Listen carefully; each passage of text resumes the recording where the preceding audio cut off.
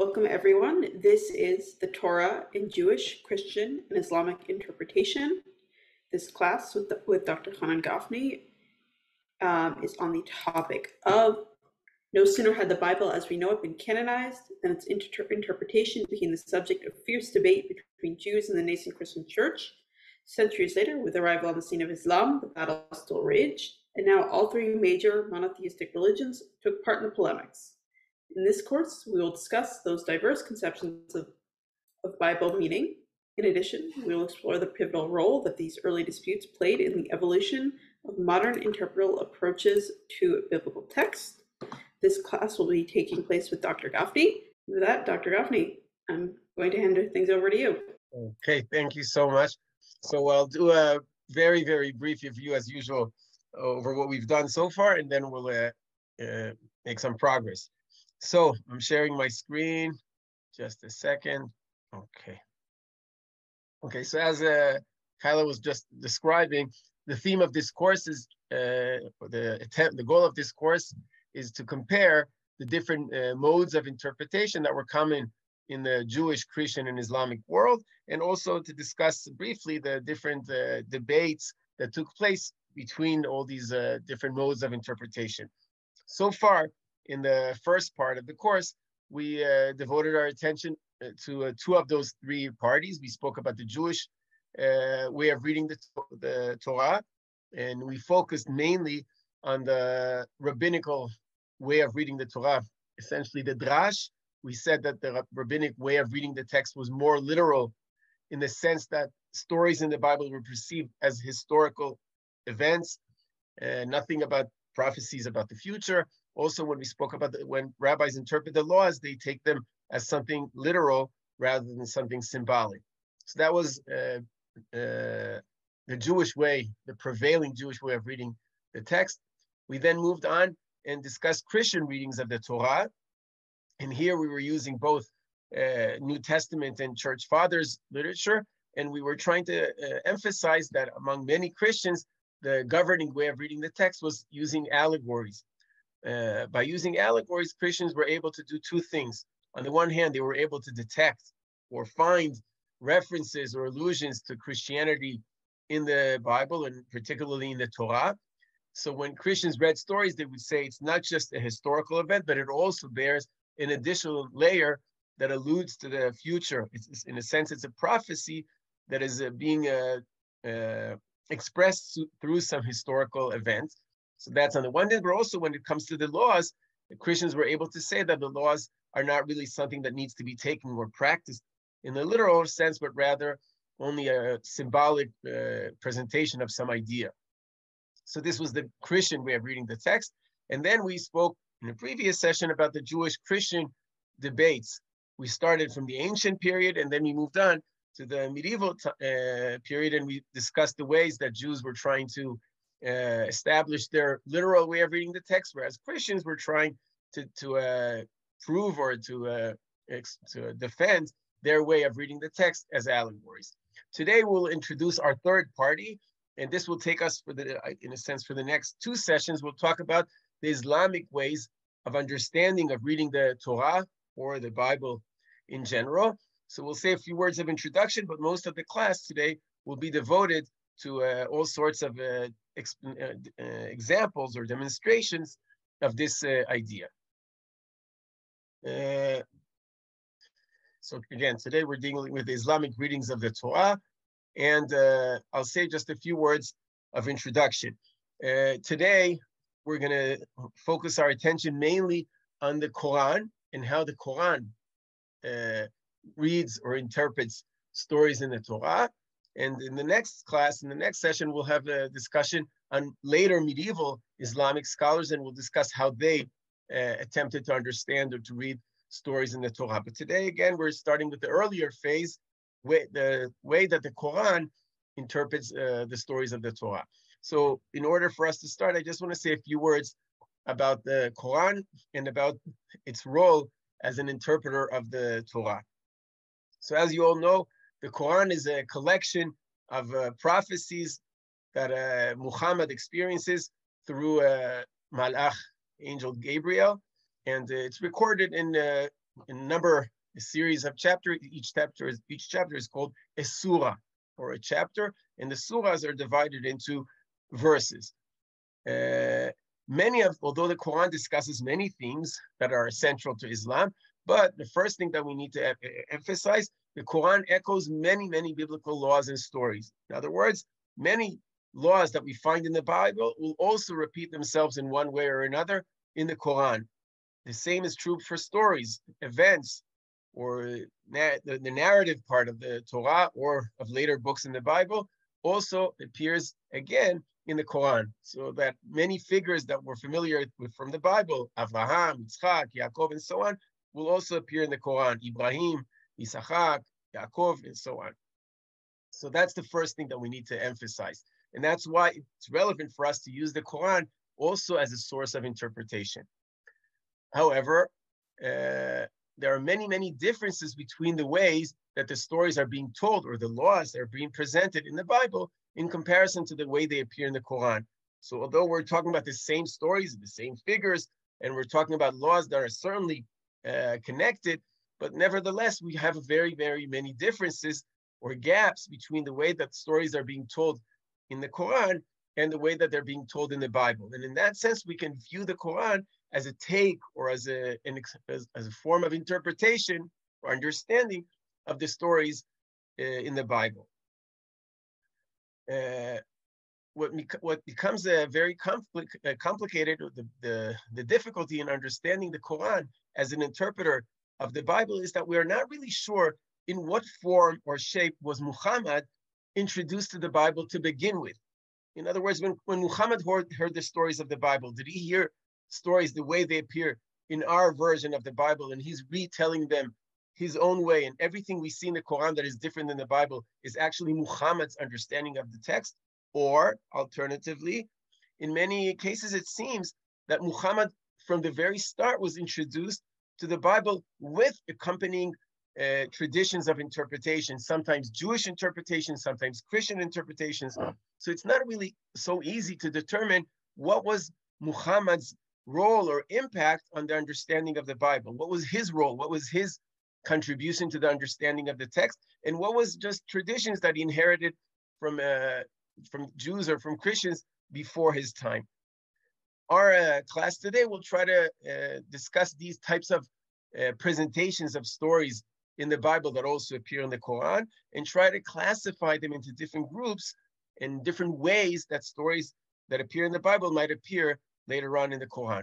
So for that purpose, I wanted to classify or discuss uh, a few modes or a few types of presentations uh, of stories in the of the Bible that appear in the Quran. As you see here, we can discuss various patterns in which the Quran retells or uh, presents stories in the Bible. And I'm going to introduce us to four types of presentations. And what we'll do in the rest of the class is demonstrate that. So in some cases, you will find a story that we know from the Bible appear again in the Quran with all sorts of adoptions of Jewish or Christian post-biblical interpretations. So the story will appear in the Quran in a different way than it, than it appears in the Bible. And scholars would assume that it's just because the Quran received this tradition, this biblical tradition, with accompanying traditions that developed later on in the post-biblical period, either by Jews or by Christians. So we can't immediately jump to conclusions that whatever, whatever is different than the Quran in comparison to the Bible is Muhammad's own ideas, or it's about Islam, something about Islam. It could very often be just an adoption of a Jewish or Christian traditions. So that's one reason or one explanation for the type of uh, for differences between these two records. In other cases, and here we're already moving more towards the Islamic contribution. In some cases, you can tell you can talk about, I would say, an anachronistic retelling of the Bible inspired by Islamic views. So Muslim might read the story of the Bible, but think about it in light of later events that are central in Muhammad's own biography, Muhammad's own life. So they read the same stories, just like when we tell stories in the Bible, in the in shul, in the synagogue, and we we tell the story, but we're also telling it in a way that is uh, partially anachronistic due to our own experiences. So Muhammad might have been doing the same thing. He's retelling stories in a way that relates to his own life or his own experiences and challenges. So that's the second type of uh, reading that we would encounter in the Quran. Sometimes we're moving a step even uh, further. In some cases, it's clear that it's not just an adoption of a Jewish tradition or even not an anachronistic retelling of the story of the Bible, but it's actually a clear deviation from the Jewish or Christian version of the Bible. The story is being told in a drastically different manner due to or as a result of all sorts of Islamic uh, concerns or agendas. And this is already something that we can already more uh, describe as an Islamic impact or, or uh, influencing the way that the Bible was being uh, told, the stories of the Bible are being told, and not just an adoption of a Jewish tradition, not even just giving it a little bit of an Islamic flavor, but actually changing the facts, changing the details in a way that would make it more uh, meaningful or important or that suits the ideas of Islam. Finally, in some cases, we might uh, we might discuss cases or examples where it's unclear. It seems like the Quran is telling a story that appears in the Bible with all sorts of unclear uh, elements that have nothing to do with Islam, just flaws in the stories, problems in the description.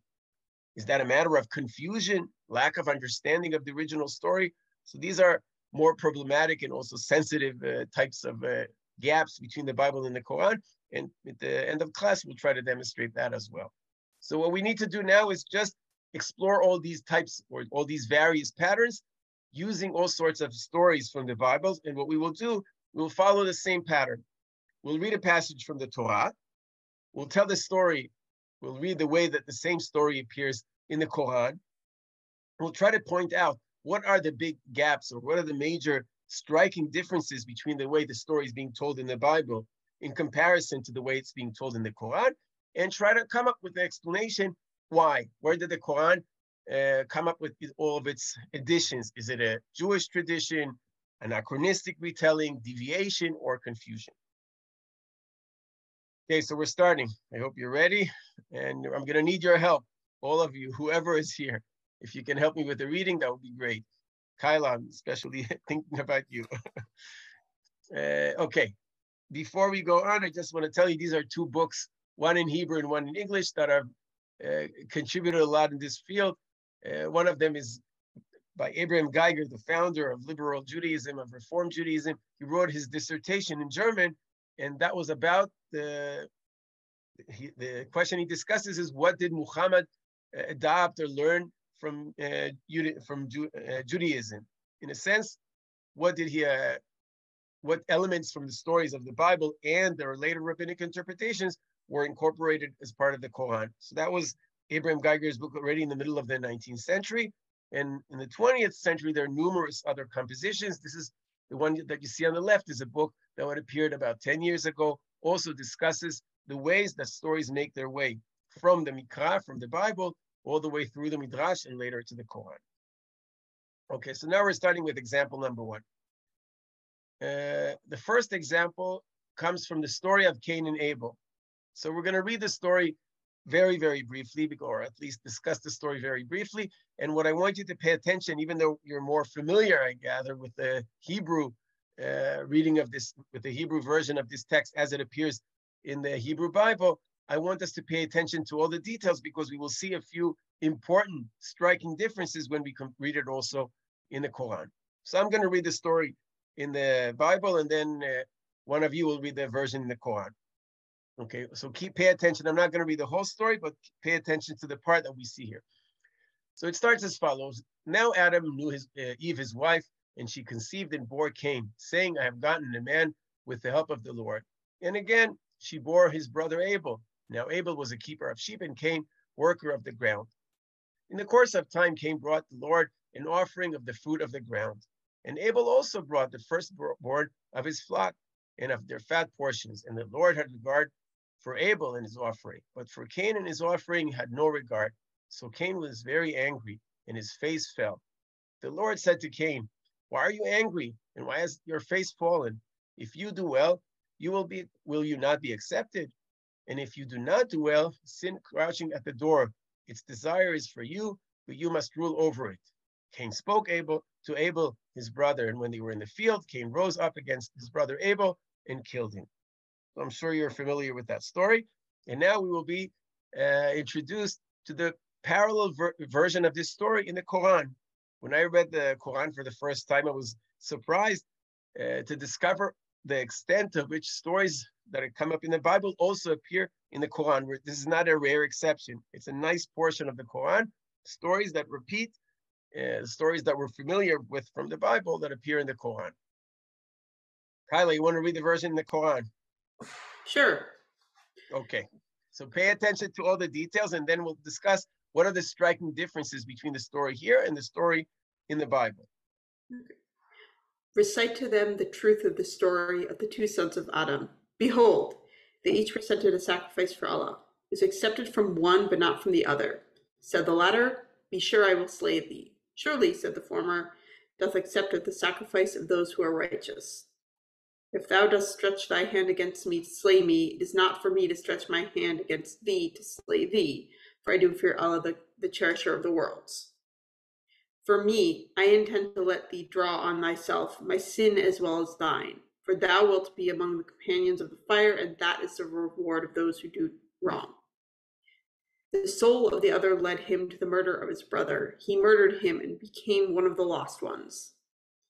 Then Allah said to Raven, who scratched the ground, to show him how to hide the shame of his brother. Woe is me, he said. Was I not even able to be as this raven and so hide the shame of my brother? Then he came, became full of regrets. On that account, we ordained for the children of Israel that if anyone slew a person, unless it be for murder or for spreading mischief in the land, it would be as if he slew the whole people, and if anyone saved a life, it would be as if he saved the life of the whole people. Then, although there came to be them our apostles with clear signs, yet even after that, many of them continued to commit excesses in the land. Okay, thank you so much. And we're going to have to discuss now the, the striking differences that appear or that uh, emerge when you compare these two versions.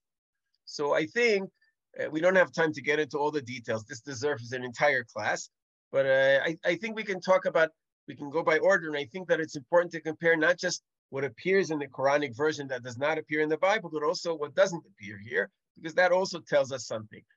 Uh, so I would start by saying that in the Quran, what's missing, the first thing that is missing is already in the presentation of these two brothers.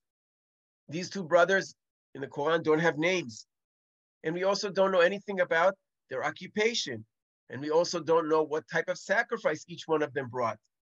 This is a very important statement by the Quran. The Quran is, in a sense, telling us don't look in that direction. That's not the essence of the story. The point of the story is not why God took one's uh, sacrifice over the other. It's not a, telling us anything about the, the type of, uh, of uh, occupation that each one adopts. That's not the story. It also has nothing to do with the who was the firstborn, who was the second son. All that is not important for the Quran, and that's already a striking uh, element in the Quran that gives us leaves a lot of room for thought.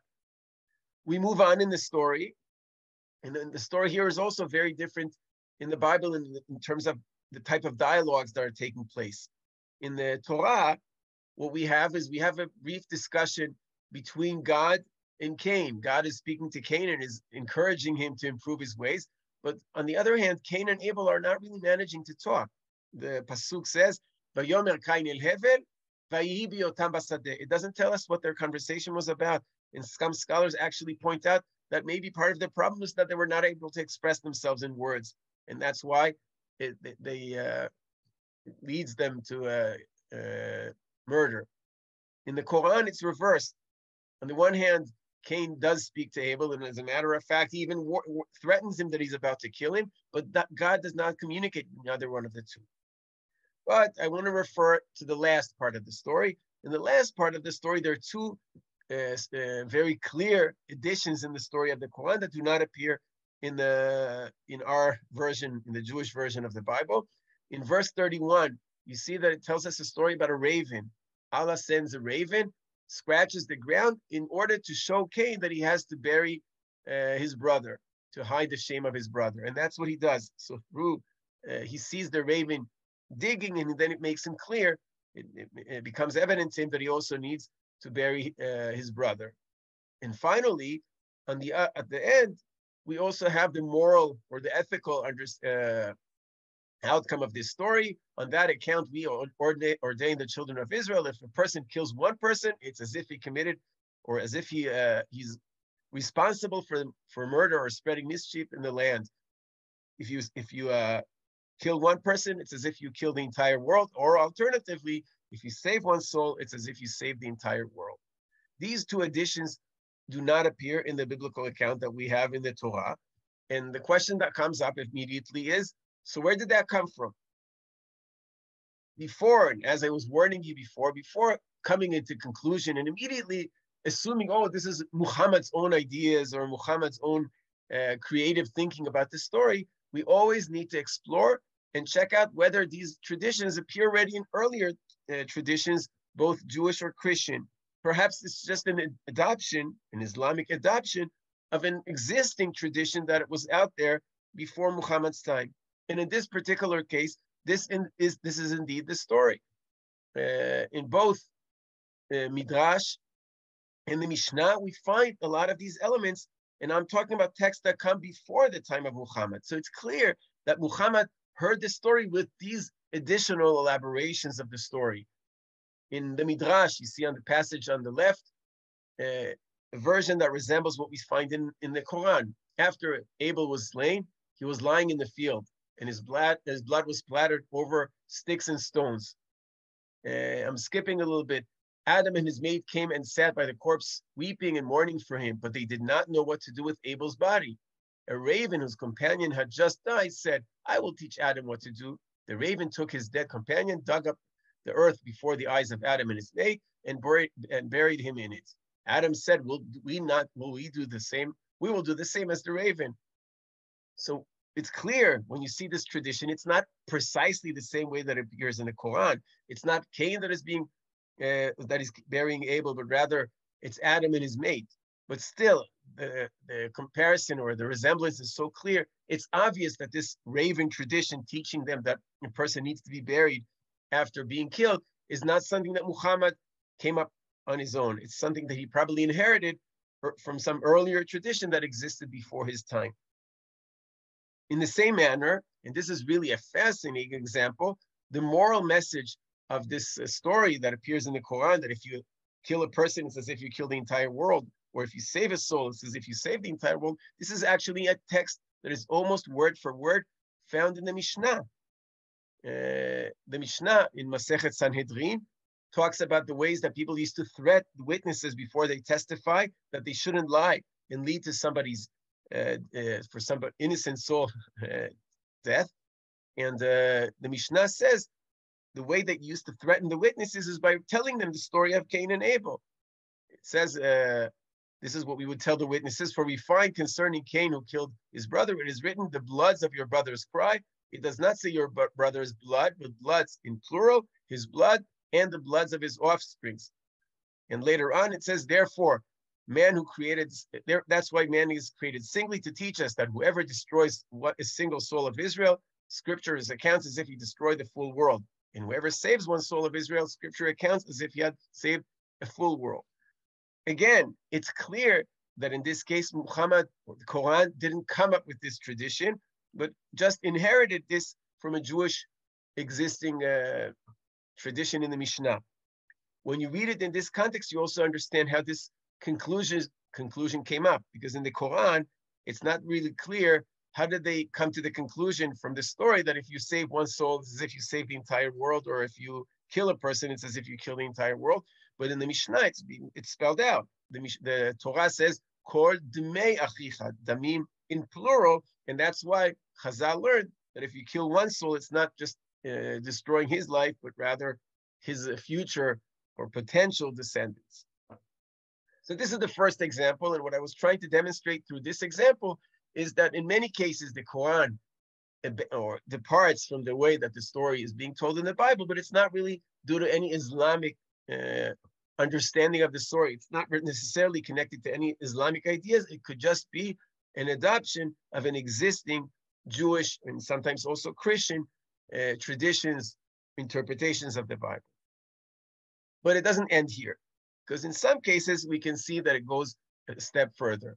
And that's what I want to see in the following story. In the following story we'll talk about is the story of Noah. So I'll just read the first uh, few verses of the story of Noah, and we'll immediately jump and try to see how the story is presented in the uh, Quranic version of the of the same uh, event. Um, The Bible starts as follows: These are the generations of Noah. Noah was a just and perfect in his just man, perfect in his generation, and Noah walked with God. And Noah begot three sons: Shem, Ham, and Yafet. The earth, the earth was also corrupt before God, and the earth was filled with violence. And God looked upon earth, and behold, it was corrupt, for all the flesh had corrupted his way upon the earth. And then God approaches Noah and says, uh, The end of the flesh has come before me, for the earth is filled with violence through them. And behold, I will destroy them with the earth. Make thee an ark of gopher wood, room shalt thou make in the ark, and shall pitch it within and without with pitch. This is the beginning of the story of the flood that you're all familiar with. The same story, and in this case, it's not just in one surah, in one chapter, but it actually appears in numerous places in the Quran. The story of the flood repeats with important differences. And this is what I want us to see right now in the text in the 11th surah. It's called the Surah of Hud. Hud is one is associated with Noah.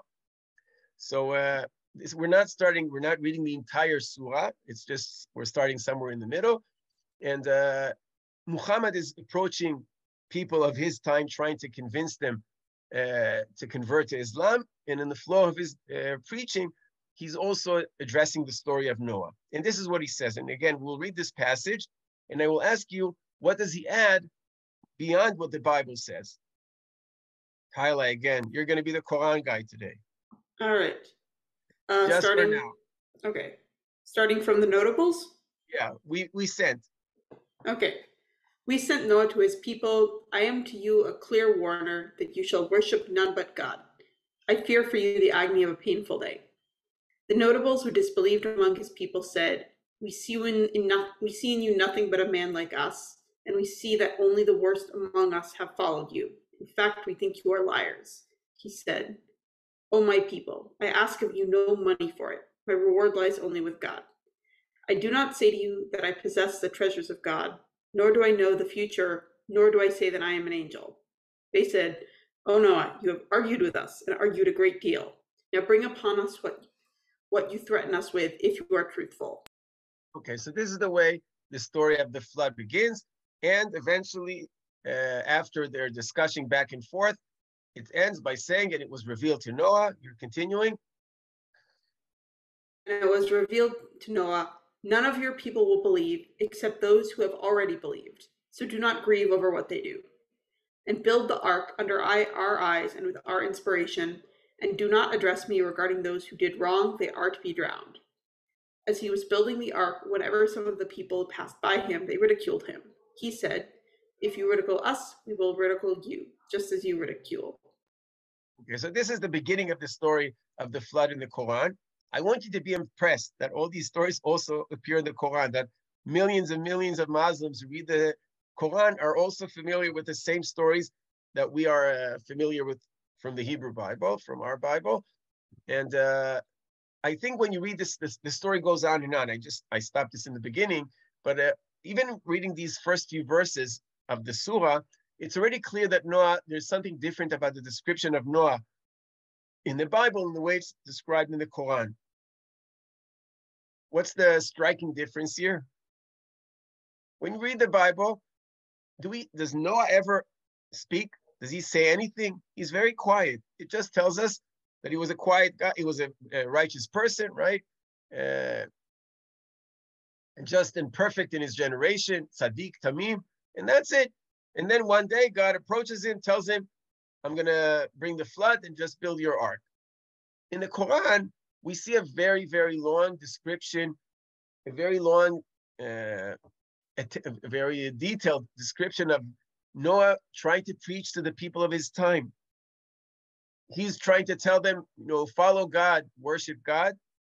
And on the other hand, they're telling him, in return, they're telling him, you're a liar. He tells them, I'm not claiming to be, I'm not gaining anything by doing this. I'm not making any money. I'm not claiming to be an angel or to have a to be supported by any angel. I'm not claiming that I possess the treasures of God. I'm just an ordinary guy, and I'm telling you to repent. And they don't listen to him, and they just tell him, just go ahead. They make fun of him, and at some point, God tells him, ignore them. This whole dialogue between the two parties does not appear in any word in the Hebrew Bible. It does not appear anywhere. So again, we ask ourselves, where did that come from? Why does the Quran add this impressive addition about uh, Noah talking to the people of his time? And you already learned that before we jump to conclusions, say, oh, it's about Islam, it's something about Islam, we always have to explore did these traditions exist before Muhammad's time? Maybe this idea that Noah is a preacher that approaches the people of his time before bringing the flood is actually something that appeared before Muhammad, before Islam.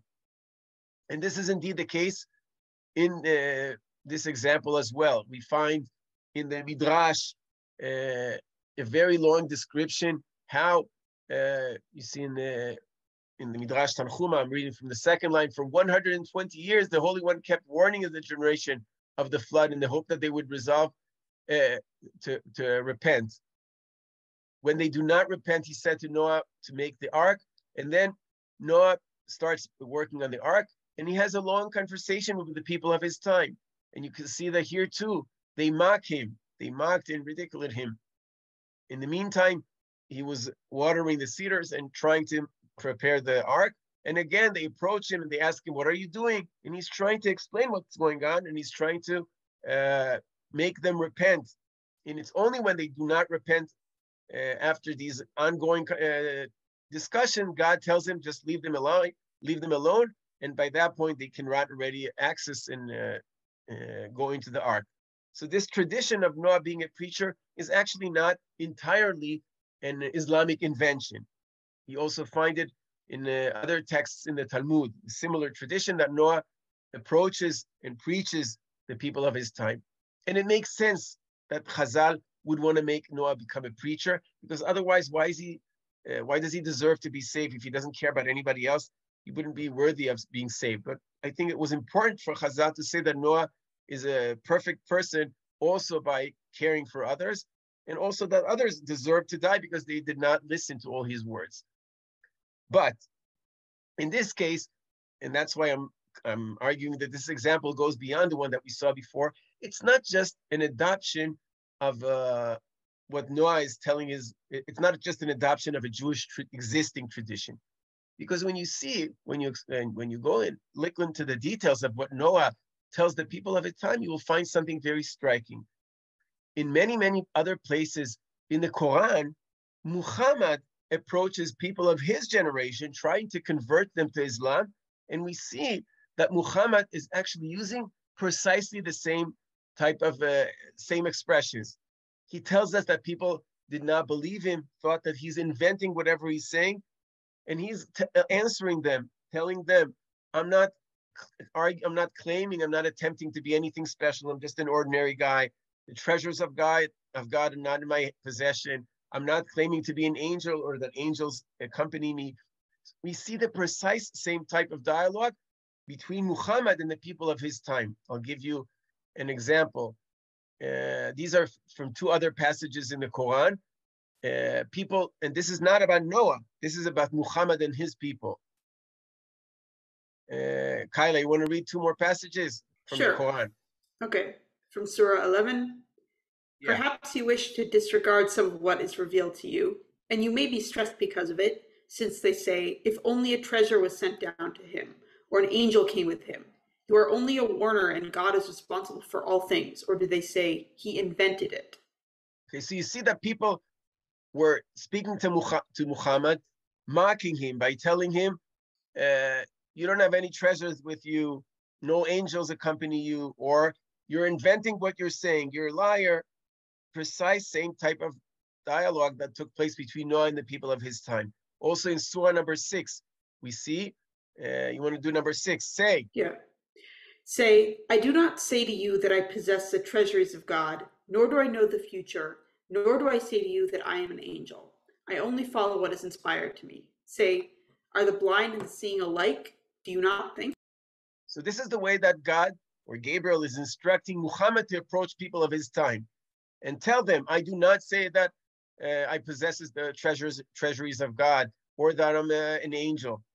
We see the same formulation appears in the description of Noah speaking to his people and Muhammad speaking to the uh, people of his generation. And I think here, and that's why I said this example takes takes us one step further. True, Muhammad did not make up the idea that Noah was a preacher and that he was preaching to the people of his time. But I think what Muhammad is doing, he's reading it in an anachronistic manner. He wants to color the story of Noah in ways that will resemble his own life experiences. He wants to feel, or the, the Quran is trying to make a point, that Muhammad is going through the same story, the same challenges that Noah faced centuries before his time. As a matter of fact, in another place in the Quran, in Surah number four, uh, the Quran itself compares between the two. We have inspired you as we had inspired Noah and the prophets after him. Or in Surah number 22, if they deny you, before them the people of Noah and Ad and Thamud also denied. So I think here we're already moving a step further. The Quran sometimes flavors or tells the stories of the Bible in a way that will resemble Muhammad's own experiences. So we read the story in a rather anachronistic manner. It makes us feel as if Muhammad is just one more of many who are facing the same challenges of spreading the words of God in the world. And if no, if Muhammad feels frustrated why he's not successful in converting everybody to Islam, he should know, you know what? Noah had a hard time too. And eventually God saved him. And the people who followed him were saved and not others. So, in that way, I think we find here something that goes a step further. It's not just about reading uh, this edition or adopting the Jewish tradition, but it's also an anachronistic telling of the story in a way that will make it more meaningful for Muslims later on. So, so far we've discussed two patterns of the ones that we we uh, presented before an adoption of a Jewish tradition, like in the story of Cain and Abel, or an anachronistic retelling of the story in a way that connects or links between Muhammad's life and biblical figures. I want to emphasize this is not what Christians were doing. Muslims are not saying that the story of Noah is about Muhammad, the way that Christians might read a story and say it's an allegorical description of what will happen later on for Jesus. This story is actually about Jesus. Muslims were not doing that that that uh, step. They're not trying to read this as prophecies about Muhammad. It's more of a an anachronistic telling of a story in a way that would make it more relevant, inspiring, meaningful for Islamic audience. Just like Jews might read the story of the Bible in, in their in synagogues in, in drasha and make the story relevant. So in that sense, we also see this in that way. We can also see it in some Islamic readings of the story. Uh, since we are lacking time, so I'm not going to get through the the entire the full example, full coming example. I want to briefly uh, mention one more without reading all the sources. The story of Abraham, and especially Abraham's beginning, the beginning of his career. There's also a fascinating resemblance between the story of the Bible and what we're familiar with, and what we're familiar with from the Bible, and the way it's also being told in the Quran with uh, dramatic additions. In the Hebrew Bible, in the Tanakh, in the Torah, what we see is that uh, Haran, uh, I'm sorry, that Terach, the father of uh, Abraham, Nahor, and Haran, is leaving Ur Kasdim on, on his way to the to the land of Canaan. Eventually, they settle somewhere, but they don't make the whole way all the way. They don't make it all the way to Canaan. And uh, towards the end, you see ויאמר השם אל אברהם, לך לך מארצך וממולדתך ומבית אביך אל הארץ אשר אראך. At some point, the Lord approaches Abraham and tells him, you shouldn't stop where you are, but rather proceed and go all the way to the land of Canaan. This is what we have in the Torah. And when you read it in the Quran, you will have a very, very long description, a long surah in the Quran that tells the story of Abraham's departure of Ur Kasdim with a very striking addition and I'm sure you're familiar with that edition. The Quran tells a long story about how Abraham was making fun of the idols of the people of his hometown. And uh, it reaches a point where Abraham breaks, destroys all the small idols, and claims or argues that it was the biggest idol there that has done all this damage. And then they're starting to go back and forth speaking about the idols. Abraham is trying to make a point that it's that their uh, uh, idolatry is meaningless and that they should all follow God. In the Quran, Abraham is being thrown to the furnace, but God saves him, and eventually he manages uh, to escape from Ur Kasdim to the land of Canaan. So this story appears in the Quran, and I just want to talk, read you one last uh, verse.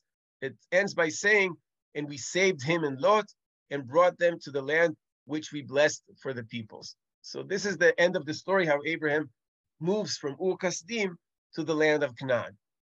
And again, we see a striking difference. In the Bible, it doesn't say anything about Abraham mocking the idols, Abraham being thrown to the furnace. All of that does not appear in any word in the Bible, but it's elaborated at great length in the Quran. The entire story appears word for word in the Quran. You see, it's a very long description that I'm not even uh, bothering reading with you now. It's just take too much time. And again, we ask, where did the Quran get, get this story from? Is this Muhammad's own interpretive uh, contribution? Did he make this up? And again, before we jump to conclusions, we need to explore: Did this exist in in in uh, Jewish or Christian traditions before Muhammad's time? And here too, the answer is yes. We have a lot of this already appear in earlier Jewish traditions, I'm sure you're familiar with this tradition about Abraham breaking all the idols, uh, Abraham being thrown to the uh, fire. All that we already know from Jewish traditions. It appears all of this appears at great length in the Midrash. Again, we're not going to go through. So all this exists already in Chazal, in rabbinic literature. So one might think, oh, so this is again another example of an Islamic adoption of a Jewish tradition, of a Jewish interpretation of the story of Abraham. Side point. So now we need to ask, and why did Jews make up this story? Why did Jews need to tell the story about Abraham breaking the idols and Abraham uh, being thrown to the fire? What was why? Why were uh, the rabbis interested in creating such a legend? And we can come up with all sorts of ideas. For instance, one might argue that Chazal wanted to make a point that Abraham was worth being saved by God or being chosen by God. It wasn't Abraham. It's not that God approached Abraham out of for no reason and told him and not his brothers, his siblings, to go to the land of Canaan. From Chazal's perspective, from the rabbi's perspective, before God approaches Abraham, before God chose uh, Abraham, it was actually Abraham who chose God, who discovered God. And that's why Abraham was worth being saved. And that's why Abraham uh, was the one who moves to the land of Canaan. And Abraham showed his trust in God by trying to preach or make a point that all the idols are, are meaningless. So this is perhaps one reason why the rabbis might have uh, created this tradition. Back to Islam. So we see the same tradition in the Islamic world. Muslims also tell the same story.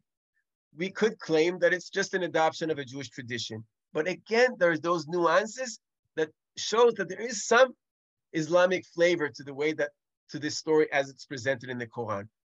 One striking example is what I was reading to you at the very last uh, verse in the Quran.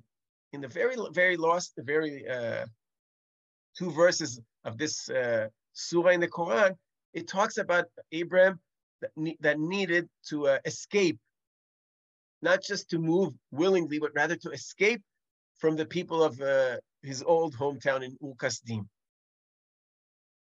It says they had thought to do evil to him, but we made them the worst losers, and we saved him and Lot and brought them to the land which uh, we blessed for the peoples. In the Quran, there the tradition is a little bit about Abraham and his people escaping from their hometown, and this is already something that scholars would say it's already something that Muhammad is telling us because it want, he wants us to feel that this is a, he's going through a similar experience. As you all know, uh, Muhammad starts his career in the city of Mecca, but the people in Mecca were not willing to become Muslims uh, as Muhammad was uh, wished. And Muhammad, according to Islamic traditions, had to escape from Mecca to Medina, uh, and it was due to the, the angel in the in the Islamic tradition. The angel had to threaten Muhammad uh, that he's about to be killed, and he escapes in the last minute before uh, this uh, this plan uh, took place. And perhaps when Muhammad is telling the story of Abraham, how Abraham was saved by some prophecy and manages to escape from Ur Kasdim to the land of Canaan, uh, and managing to being saved from all these evil people, Muhammad is trying to tell us the story in rather anachronistic manner, in a way that would feel relevant for people of his time. Muhammad will say, I'm going through the same experiences of Abraham. Abraham had to work hard in order to spread the word of God, and so am I. So this is another example of an adoption, but also an anachronistic way of telling a story in the Bible. Uh, the next example, one step further. It's not an adoption of a Jewish tradition. It's not uh, an anachronistic way of telling the story, but rather clear deviation, departure from rabbinic tradition. And here I want to talk about a famous story or two important figures, Yitzchak, Yitzchak, and Ishmael, Ismail, in the Bible and the Quran. In the Hebrew Bible, Ishmael is obviously Abraham's uh, firstborn uh, from Hagar, not from Sarah, from Hagar, but he he's expelled from Abraham's house. True, uh, when Ishmael is expelled from Abraham's house, Abraham blesses him. God blesses him, and also Abraham will eventually bless him. It says, Uli Ishmael shmaticha, hine berachti oto, vifreti oto, virbeti oto bimod meod. As for Ishmael, I have heard thee, behold, I have blessed him, will make him fruitful, and will multiply him exceedingly. So we'll talk about these verses in the next session. But the Bible also makes clear briti. But my covenant will I will establish with Isaac. So this is the biblical record. Later on, from after Ishmael departs from the house or leaves the house of Abraham, the story will focus only on Yitzchak, and everything else will happen uh, will focus on Yitzchak, and especially the story of the binding. It's the binding of Isaac. Isaac is the son that was uh, bound by Abraham. What about the Quran? In the Quran, the story is very different. In the Quran, Ishmael, Ismail, is not just Abraham's son. He is a prophet. Throughout the Quran, you will see